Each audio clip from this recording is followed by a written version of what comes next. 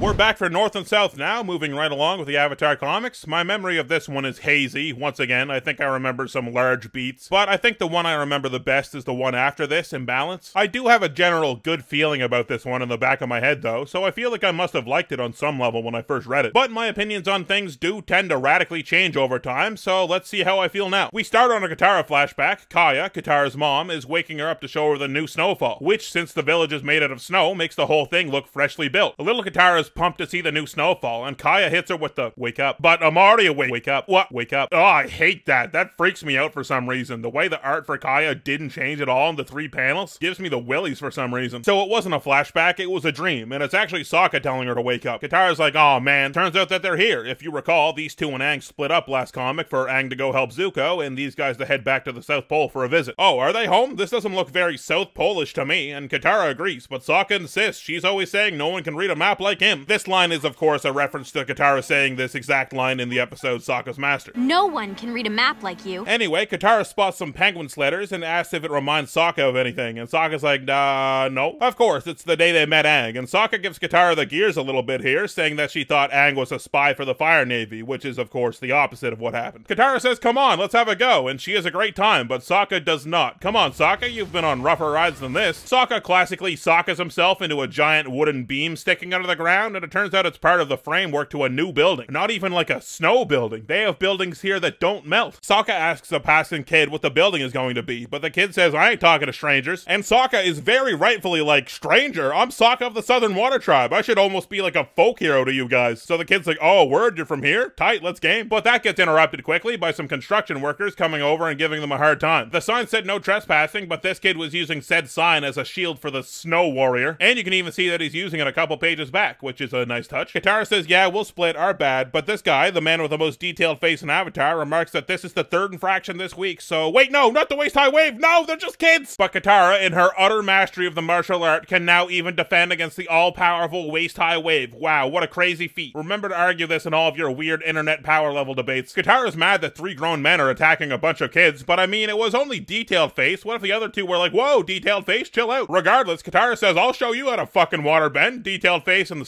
stash man catch Katara's consecutive normal snowballs and make a very large snowball. That Katara then, of course, makes into a very large spiky snowball. If it's just made out of snow, does that really make it any more formidable? Apparently so, because the workers are just like, Jesus, alright, relax. I also like that Sokka is like Katara's biggest fan in all of these shots. That's nice. The workers say that they were just going to scare the kids, and Katara says to put up a fence. A fence? Where are we supposed to get the materials for that? There's no wood or cement bricks or highly bendable snow around. Sokka says, alright, alright, we'll walk you guys home. Where do you live? In the kid points towards Katara and Sokka's village, which they find weird. Who are these kids' parents? But the kids are also confused. What do you mean village? You mean the city? What do you mean city? Oh shit, Pakku got down here and straightened things right up, didn't he? Damn. Katara seems unsure of how to feel about this, but Sokka, always the futurist, thinks this is the sickest shit he ever saw. They immediately see Auntie Ashuna, who isn't in the show, but her and her seal jerky were mentioned briefly last comic before these guys split off from Aang. After greetings and explaining that her jerky hut got torn down, so she runs this cart now, Ashuna shouts to everyone that Sokka and Katara are back, and damn, hold on, they are like folk heroes. Wait, hold on, yeah, yeah, that's goddamn right. Finally, some recognition out here. Forget all these nobodies, though. Grand Grand's here. Anyone remember Grand Grand? Legend. And even Pakku's still kicking around. Turns out him and Grand Grand are officially married now, just a couple weeks back. Took a couple years since giving her the betrothal necklace, I guess, but it seems Pakku has been busy. They didn't miss a ceremony or anything, though, because they eloped to the Misty Palms Oasis, which is the same place the gang visited in the episode The Library, where they met Professor Zei. A lot of info on this page, geez, so quickfire. Pakku mentions he set up a school here in the south and he wants Katara to come help out. Sokka references how he's got experience helping teaching bending, referring back to his time at the Metal Bending Academy, and the crew get pointed toward Hakoda's office at Town Hall, which is highly surprising for a multitude of reasons. And boy, is it something! Grand Grand explains that Hakoda isn't just a local chieftain anymore, he's the chieftain of the entire Southern Water Tribe, which is something I've wanted to mention for a while now. The extended media says that the Southern Water Tribe has always been a group of scattered, disparate, and small communities, and the show never really got into the nitty gritty about the Southern Water Tribe, well, anything really. So I always went off of what the show told me in that what was the Southern Water Tribe was the Southern Water Tribe, like this small community here was it. But now the comics say nope, there were tons more, they were just spread out, which is fine, I would say. Just with how the show told the story, I thought it was pretty clear that this was all there was, especially with the amount of men that Hakoda led to war. Maybe it was just his village that went. Anyway, Katara's pretty unsure of what to think about her dad's new shiny office. Everything here seems so unlike home. So we go in for a visit, and Hakoda is just tickled pink to see his kids again. These comics do do reunions well. It's great. Also, Hakoda has a map of the Southern Water Tribe up on his wall here. Very nice. Hakoda introduces his kids to Malina and Maliq, two people from the Northern Water Tribe who are actually big fans of Sokka and Katara. Since even before the Ozai thing, all the way back when they helped save Tui and La. And I like this actually. They actually wear slightly more purple toned outfits, kind of like Yue did to show that they're from the north. So the three construction thugs from earlier show up, and Katara classically Katara's them and stares daggers at them. Man, feels bad that the classic Sokka and the classic Katara are so wildly different. Turns out these guys are Malina and Maliq's work crew, Detailed Face, Pistachio, and Sunjae. Two waterbenders and an earthbender. No way, I could have never guessed this guy was from the Earth Kingdom. There's a little back and forth about the scuffle from earlier, but overall things just end with the construction guys getting an earful about the fence they didn't put up. These guys are also supposed to be some pretty premier benders, but Katara sorted them out in no time flat, but they explained that they specialize in construction bending. Interesting. They do have a strange hulkish goon look to them that I find off-putting, and Sokka agrees. So Sokka finally gets an answer to what those guys are building. It's a new office for Hakoda. Katara's relieved because she thinks this place is way too extravagant for her dad. He's not like that. He's a down-to-earth kind of guy. But nope, psych, think again. Katara, Hakoda is being built a palace. Katara is very against this idea for some reason, but Malina, being from the north, always had her chief and his family living in a palace, so it seems to make sense to her. And Hakoda says, yeah, we're sprucing this place up, and we're trying to get more involved in the world. If we need to be a little show-offy to other nations to get it going, let's do it. And then Sokka somehow worms his way into a consultant role in the construction. You're lucky you're a folk hero, Sokka. Malina has the idea to go out to dinner to celebrate their arrival back home, and Sokka kind of forces Katara to go along with it, so they head to Two Fishes Northern Cuisine. That's all they got. During the meal, Katara keeps just getting bad vibes all around. This Malina chick talks bad about southern food, and with the palace and all, you can tell she feels threatened by the Northerners coming in and sort of doing away with their culture. Two kids working at the restaurant square up and say ready, and basically say for the motherland, which is, oh, that's never good. So the young man purposely spills a huge dish of food onto the table as a distraction, and the young woman steals Maliq's briefcase. What the hell is this culinary espionage? She tries to take off, but Malina, who turns out to be a waterbender, makes her slip on some ice. But the girl's accomplice hits Malina in the back with a pod, and oh god, she's been killed. The two kids are like, we killed a lady, cheese it! Katara and Sokka say they're on the case. They're the legendary heroes of the Southern Water Tribe after all. Sokka sees the two get on a forklift with no forks, but skis instead, and no way to lift anything.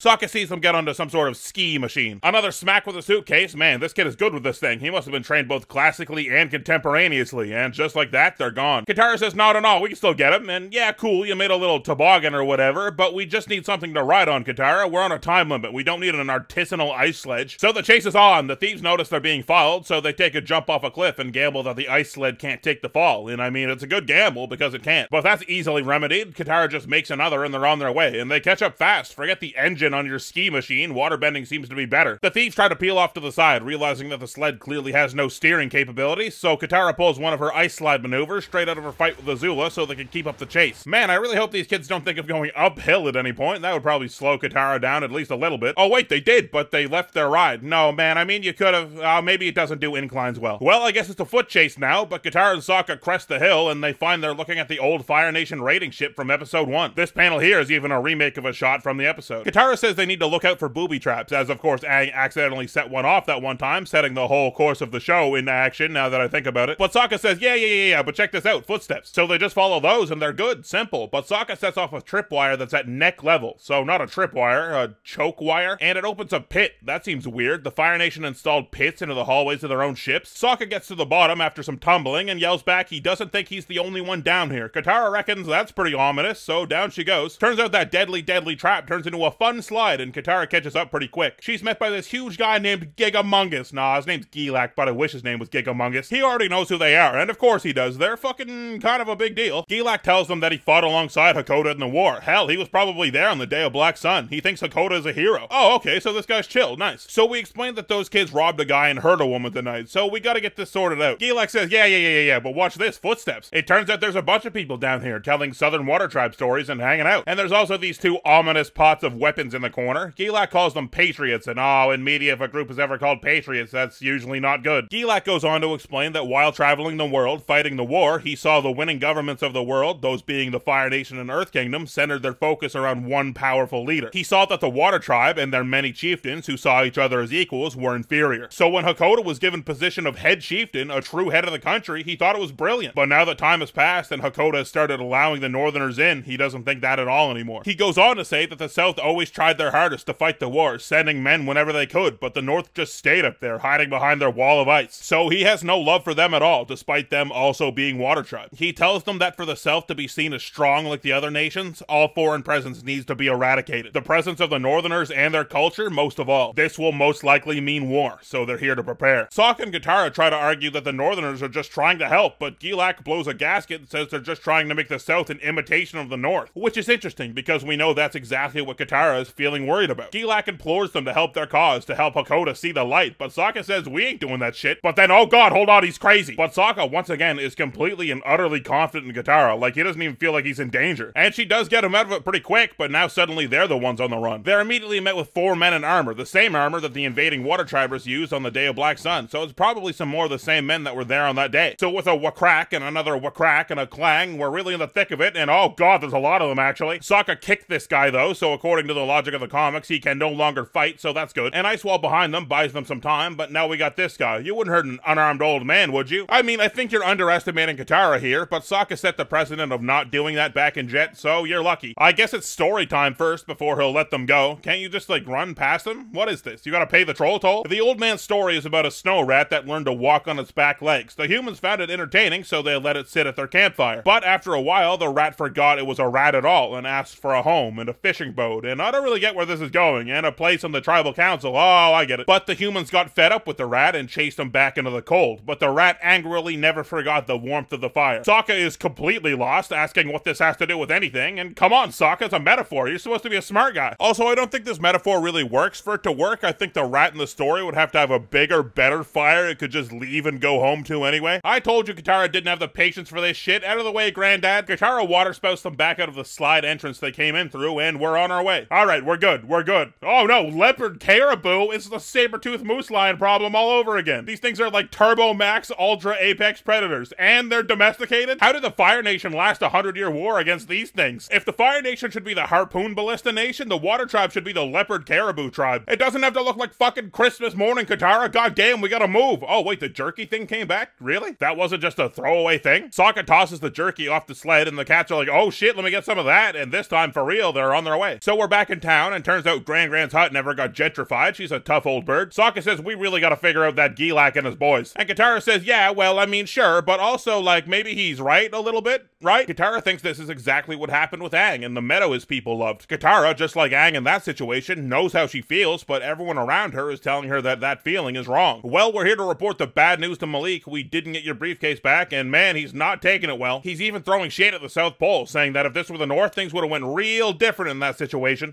Immediately, we get a demonstration of one of the points Gilak was making. He says the North has rules and regulations, but down here, it's like the Wild West, and you can almost feel him get to that Ice Savage line people like to throw around, but he doesn't. He seems unsure of Hakoda even following up on this and getting justice. He says what he and Malina are doing down here is so important, and Katara grills him like, what are you doing down here anyway? And Sokka says, come on, he and his wife are really helping out. But Maliq says, no, no, no, she's my sister, chill, chill, chill. Oh, that's only a little awkward, my bad. Anyway, let's go say hi to Daddy-O. And oh my god, you're telling me Hakoda, the head motherfucker what's in charge, supermodel war hero, has a girlfriend? Oh, that's not gonna go over well. And that's where we end things off for this one. A Katara and Sokka solo journey. Wasn't quite expecting that, right? Maybe because Aang is front and center on the cover, right? That's a little weird. Anyway, I think this one was pretty good. It got a lot done, introduced us back to the new Southern Water Tribe, and made sure we got to see the characters we wanted to see, and also introduced a lot of intricate points to play around with. It was teetering on being repetitive with the Rift, I thought, with Katara's hopes for her old home still being the same, being dashed just like Aang's were. But I think the little twist being that Katara isn't on her own side thinking that, but actually on the antagonist side is interesting enough to set it apart. Could it still end up being repetitive? Definitely. They're gonna have to try and set it apart for sure. But for now, I think it's good. It wasn't terribly character driven, honestly. It was mostly Katara and Sokka getting carted around from scene to scene, reacting to things. But for a comic that's setting things up, I don't think that's all bad. It's really shaping up to be Katara's book, since she's the one having an emotional reaction to the way things are changing. And I'm open to that big time. I think Katara's overdue for some development and some spotlight post show. Patreon shoutouts if you want to see two brand new videos from me. You can support me on Patreon for just a few bucks. Link, as always, is in the description below the video. Biggest shoutouts of all go to my top patrons, Agent Rhino, who went to Comic Con once and was constantly swarmed by adoring fans, but they have no idea why. Danger Stranger, who developed a tool for picking an entire apple orchard in under one hour. Unfortunately, all the trees and everything will also be destroyed, and the rotational velocity of the planet will be brought into question. But man, it picks those apples. Gift Mr. Von PTA, who, if he sings to a clam, it will always have a pearl in it. Omega Fighter, who won the nose ring tug of war championships, and the last match was against an ox. Sean Martin, who can read any YouTube link out loud and play it on his retina. Stephanie Riches, who keeps hearing about this breathing thing everyone has to do, but she's never done it and she's doing fine. Thomas Lautenbach, who took a selfie and put it up at an art auction, and he got some pretty steep offers. Tiago Nascimento, who had to dig his own grave on three separate occasions, and he's still around, so I mean, don't mess with that guy. Tis Just Lee, who built an entire log cabin with in-ground heating around a homeless lady in one night. A Varunda, who can step on a crack and transfer the backbreaking to anyone they want. And Whitrow, who took down an attack helicopter with a throwing axe in three separate wars. And of course, my god overanalyzers, two boots are beat, Alex Rodriguez Flores, Andrew Watchert, Austin Gallup, Daniel Anderson, Devoted 221, Dizzy Payne, Dominic Saint, Distent, Aaron Grace, It's Carton. Jackson, John Ojaka, Justin Fletchall, Mr. Freese, Nicholas Abbott, Peter Bayron, Phil, Pogger White, Reese, Rocket Mist, Ryan Maxwell, Samuel Vanderplatz, Super Snipper, Turt Bobs, and some bear face thing. I don't know. Next up, I'm sure Sokka and Guitarra will do some shouting about this.